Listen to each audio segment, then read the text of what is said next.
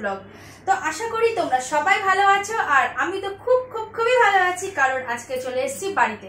আর দেখো কি নিয়ে এসেছি বলো তো? আজকে নিয়ে এসেছি দুই গ্লাস স্মুদি ঠিকই, কিন্তু আজকে আর ওকে দেবো না। আজকে আমার শাশুড়ি মাকে খাওয়াবো স্মুদি তাই না? দেখো, তোমাদের তো ব্লগে তোমাদেরকে এতদিন দেখাতে পারিনি, আজকে চলে আসছি, আর আজকের থেকে তোমাদেরকে আমার শ্বশুরবাড়ির ব্লগটা দেখাবো। দেখো তো খেয়ে দেখাবে কেমন। চিনি কোনটা মধ্যে আছে? ওটা মধ্যে চিনি। ওটা দি, ওটা, ওই যে চিনি। দাঁড়া চামচ নিয়ে আসি দাঁড়া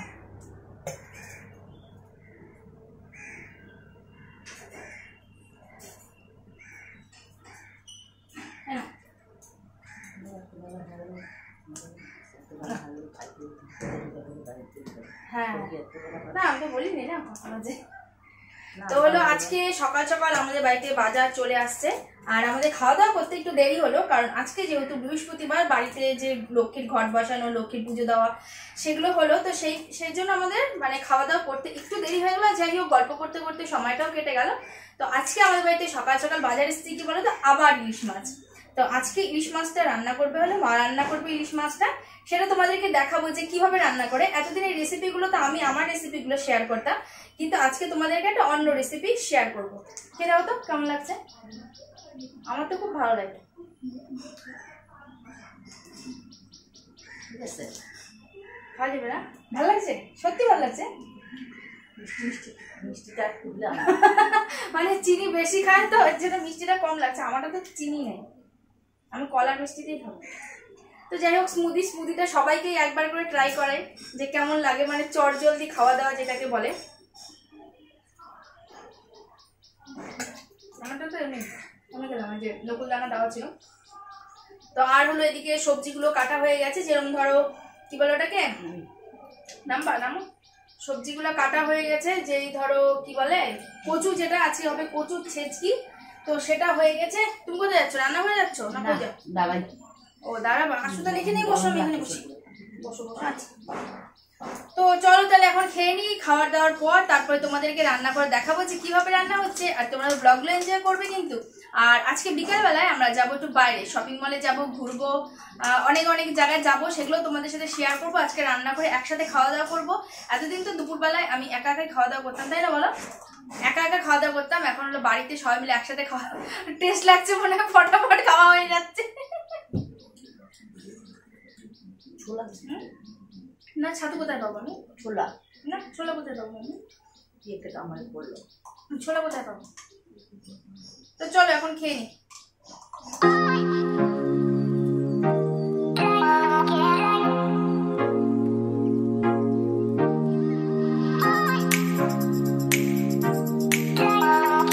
খাওয়া দাওয়ার পর দুজন মিলে চলে এসেছি রান্নাঘরে রান্না করতে।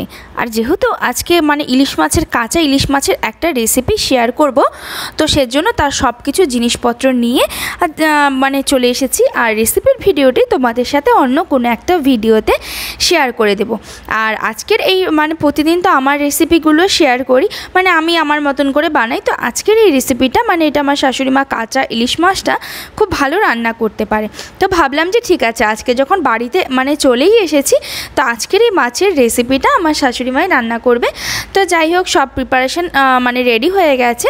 আর এদিকে দুজন গল্প করতে করতে হাতে হাতে দুজন দুজনকে কাজ আগে দিতে দিতে খুব তাড়াতাড়ি হয়ে গেছে। আর এদিকে ইলিশ মাছটা হয়ে গেলে তারপরে আমার যা বাদবাকি কাজ মানে এদিকে কচুর ছেচকি যেটা, সেটা হয়ে গেছে। আর ইলিশ মাছটা এখনও কড়াইয়ে হচ্ছে মানে সেটা ভাপে দেওয়া আছে। তো এটা হয়ে গেলে তারপরে আমি যে মিষ্টি কুমড়া পাট ভাজা সেটার বড়া ভেজে নেব, গরম গরম বড়া দিয়ে খেয়ে নেব।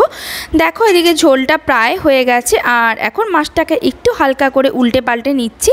নালি কি হয় বলো তো, যেহেতু এটা ভাপে ইলিশ মাছ না, খুব আলতোভাবে না করলে মানে এটা ভেঙে যাওয়ার চান্স থাকে। তো যাই হোক, এখন এটাকে নামিয়ে নিচ্ছি। বেশ ভালো করে আস্তে আস্তে করে, নাহলে তো ভেঙে গেলে দেখতে ঠিক ভালো লাগে না। আর এটার রেসিপির ভিডিওটি আমি তোমাদের সাথে অন্য কোনো একটা ভিডিওর মধ্যে দিয়ে শেয়ার করে দেবো। তো এটা হয়ে গেল, এখন হলো যাই হোক, দুজনের যা কাজ মানে আমি এখন বড়াটা বসাবো, এদিকে আমার শাশুড়ি মা যা কাজ মানে বলল যে ঠিক আছে, তাহলে তুমি এটা বসাও, আর যে মাছের যে কড়াইটা আছে সেটা বলল যে ধুয়ে দেবে, নাহলে কী হবে বলো তো বড়া ভাজার পর তো অনেকটাই তেল থেকে যায়, যদি এটা মাছের মানে আমিষ হয়ে যায়, তাহলে সেটা রাখার অসুবিধা হবে। তো সেই কারণে ভালো করে গ্যাস ট্যাস মুছে নিয়ে তারপরে বসানো হচ্ছে। আর অ্যাকচুয়ালি কি বলো তো আমি বাড়িতে আসলেই না বড়াটা একটু বেশি হয়। কারণ হলো মানে বড়াটা মানে আমি ভাজলে ওদের খেতে বেশ ভালোই লাগে। মানে আমার শ্বশুর, শাশুড়ি দুজনেরই খেতে খুবই ভালো লাগে। তা আমি বাড়ি আসলেই ওরা আমাকে বলে কি বড়াটা ভেজে দিতে। তা আমিও ভেজে দিই, আমার ভালো লাগে। কারণ যেহেতু আমি গুয়াহাটিতে যেখানে আগে যখন কালিয়াগঞ্জে ছিলাম, একা একাই রান্না করে খেতাম। তো যাই হোক, এখন ওদেরকেও একটু রান্না করে দিই। ওরা খেয়ে বলে ভালো লাগে, সেটা শুনতে আমারও ভালো লাগে না, ঠিক আছে, কাউকে করে দিলাম, তার খেতে খুবই ভালো লেগেছে। বা সে আবার আমাকে মানে সেই জিনিসটা বানিয়ে দিতে বলল, সেটাও খুব ভালো লাগে। তো আজকে খাওয়া দাওয়ার পর, তারপরে ভাবলাম যে ঠিক আছে, যেহেতু অনেক দিন পর চলে এসেছি, তো আজকে বাড়িতে বসে বসে একটু ফেসিয়াল করে নেব। কারণ গুয়াহাটিতে না জলে প্রচণ্ড আয়রন জানি না সব জায়গায় কিনা তবে আমরা যেখানে থাকি সেখানটা একটু আয়রনটা বেশি। তো সেই কারণে মানে স্কিনটা প্রচণ্ড ড্রাই হয়ে গেছে, তো বাড়িতে ভাবলাম যে একটুখানি ট্যান ক্লিয়ারও করব আর একটুখানি ফেসিয়ালও করে নেব। তো এখন হলো বড়াটা ছেড়ে দিচ্ছি আর বড়াটা হয়ে গেলেই গরম গরম ভাত, তারপরে হলো ইলিশ মাছ ভাপা, আর হলো কচুর মানে কচুর ছেচকি বলো, কচুর বাটা বলো, সে যাই বলো না কেন, সব গরম গরম খাওয়া। খেতে বেশ টেস্টি হবে আর তার মধ্যে সবাই মিলে বসে বসে একসাথে খাওয়া। হ্যাঁ তবে এর মাঝেও ওকে মিস করছি, কারণ ও গেছে মানে ওর কাজের জন্য একটু বাইরে গেছে, তো আমি বাড়িতে একাই এসেছি, আমি বাড়িতে এসে একাই মজা করছি।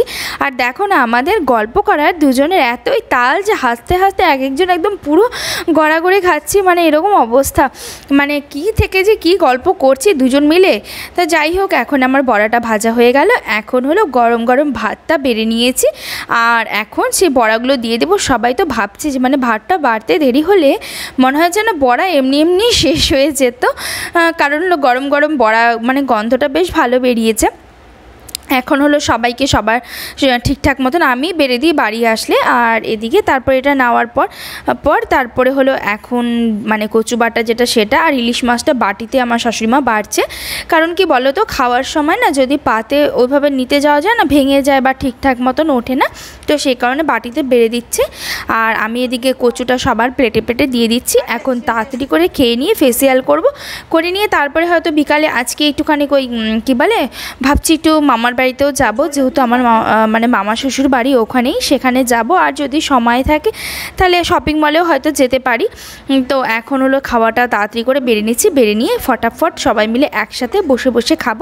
আর একসাথে বসে খাওয়ার মজাই আলাদা, যেহেতু দুপুরবেলা ও বাড়িতে থাকে না, তো সেখানে আমার একা একাই বসে খেতে হয়। তো আজকে বাড়ির লোকের সাথে খেতে বসে মানে খাওয়াটাও খুব মানে শান্তির, খুব স্বাদের লাগে। কারণ একা একা না, সে তুমি যতই ভালো করে রান্না করো না কেন, রান্নার পর না সেটা আর খেতে ইচ্ছা করে না।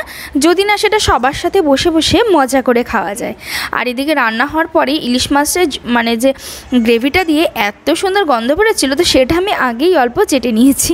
তো যাই হোক, খাওয়া দাওয়ার পর এখন চলে আসলাম পার্লারে ফেসিয়াল করতে। এটা একটা নতুন ফেসিয়াল কিট পার্লারে এনেছিল।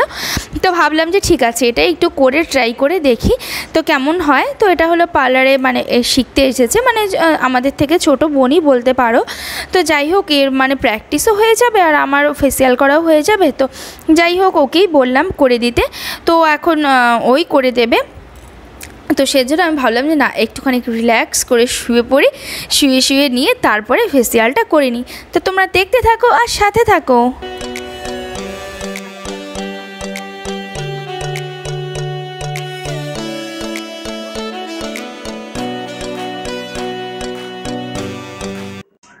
বসে পড়লাম তোমরা দেখলেই ফেসিয়াল করতে বসে গেছি নিজেদের বাড়িতে এসে খাওয়া দাওয়া করে। এখন ফেসিয়াল করছি মুখের মধ্যে কি লেগেছে ট্যান না? ট্যান ক্লিয়ার মুখের মধ্যে ট্যান ক্লিয়ার লাগানো হয়ে গেছে বাদ বাকি এখন আরও অনেকটাই বাকি আছে। হ্যাঁ ক্লিনজিং হওয়ার পর ট্যান ক্লিয়ার লাগালো বাদ বাকি আর অনেক কিছুই আছে। মানে বাড়ি আসা মানে এটা মোটামুটি মাথাতে থাকেই যে বাড়ি আসলে ফেসিয়াল করব। বেশ ভালোই লাগে। কারণ স্কিনটা একটু বেশ মাঝে মাঝে যখন যখন বাড়ি আসে স্কিন কেয়ারও হয়ে যায়। তো এখন হলো মুখের মধ্যে ট্যান ক্লিয়ার লাগিয়ে কিছুক্ষণ বসে থাকতে হবে। তো ভাবলাম, কি করব? তো ভাবলাম যে তোমাদের সাথে একটু বকবকি করে নিই। তো এরপরে হলো ম্যাসাজ করা বাকি আছে আর অনেক কিছু বাকি আছে। এরপরে তো বিকেলবেলা একটু মনে বাইরে যাব। মামা বাড়ি যাব আজকে? ইচ্ছা আছে। ইচ্ছা আছে, এখনও জানি না সময় সুযোগ হবে কিনা, কারণ দোকানে অনেক কিছু কেনাকাটি আছে মামা বাড়ি যাব, সেগুলো অবশ্যই তোমাদের সাথে শেয়ার করব। আর এখন আজকে খাওয়া দাওয়াটা তো বেশ জমিয়ে হলো, তোমরা তো দেখলেই কি কি মেনু ছিল, তো সেই খাওয়াটা বেশ জমিয়ে হলো। আজকে রান্নাটা কিছু কিছু রান্না আমি করছি, কিছু কিছু রান্না মা করছে, দুজন মিলে জমিয়ে বেশ খাওয়া দাওয়া হলো। এখন হলো ফ্যানটা তো অফ করে আছি ভিডিও করার জন্য এখন ফ্যানটা চালাবো। তারপর একটু পরে মাসাজ টাসাজ করে তোমাদের সাথে আবার পরে কথা হবে শেয়ার করব। আর তোমরা দেখতে থাকো আর এরপরে এখন মাসাজ করব। কতক্ষণ থাকবে ট্যান ক্লিয়ার এটা? পনেরো মিনিট। মতন থাকবে। এখন পনেরো মিনিট একটু চুপ করে বসে থাকি তোমাদের সাথে এখনই হলো? কত বাবা ফ্যানটা দে। উফ প্রচণ্ড গরম। ফ্যানটা দিলাম। ফ্যানটা দিয়ে একটু বসে থাকি তোমাদের সাথে আবার পরে। দেখো না ট্যান ক্লিয়ার আর স্ক্রাব করা ক্লিনজিং ট্যান ক্লিয়ার আর স্ক্রাব করার পরেই স্কিনটা কি সুন্দর গ্লো করছে। মানে এখনও মাসাজ করা প্যাক লাগানো, এই সমস্ত কিছু বাকি আছে। যেহেতু ওখানে মানে একটু ট্যানটা মানে কি বলব আয়রনটা বেশি জলে তো সেই কারণে স্কিনটা একটু কেমন ডাল মতন হয়ে গেছিল। আর হলো এদিকে স্কিনটার মধ্যে না চোখের চারপাশ দিয়ে কেমন কালো জমে গেছিল, কারণ রাত্রি জেগে ভিডিও এডিট করতে হয়। তো সেই কারণে স্কিনটার খুব বাজে অবস্থা ছিল, তো ভাবলাম যে ঠিক আছে, আজকে ফেসিয়াল করার পর যে আমার কী ভালো লাগছে তো এরপর আমরা বিকেলবেলা দুজন মিলে বেরিয়ে গেলাম। এখন যাচ্ছি মামার বাড়িতে, সেখান থেকে ঘুরে আসব। আর সেখানে যা ঘুরে আসার, ফেরার পথে কিছু দোকানেও যাব। টুকিটাকি কিছু কেনাকাটি আছে। আর সেগুলোও কেনাকাটি করব। এখন যাচ্ছি দুজনে টোটোতে করে। আর সেখানে গিয়ে মানে মামার বাড়িতে দিদা আছে। দিদার শরীরটা একটু খারাপ। তো সেই কারণে দিদার সাথে দেখা করে তারপরে চলে আসব। যেহেতু আমার হাতে সময়টা খুবই কম। আর এদিকে আমার দোকানপাটেও যেতে হবে। তো সেই কারণে কি বলো তো মানে এখন ভাবছি যে তাড়াতাড়ি গিয়ে মামার বাড়ি থেকে গিয়ে চলে আসব। আর এদিকে ওয়েদারটাও একটু খারাপ করছে, বলা যায় না বৃষ্টিও যখন তখন নামতে পারে। তো এখন দুজন আমরা টোটোতে করে যাচ্ছি। চলো তবে আজকের ভিডিওটা এখান থেকেই শেষ করছি। তোমাদের সাথে দেখা হচ্ছে কালকের আবার একটা নতুন সুন্দর ভ্লগ নিয়ে। তোমরা সবাই ভালো থেকো, সুস্থ থেকো। তোমাদের সবাইকে গুড নাইট টাটা। দেখা হচ্ছে আবার নতুন একটা কোনো ভ্লগ নিয়ে।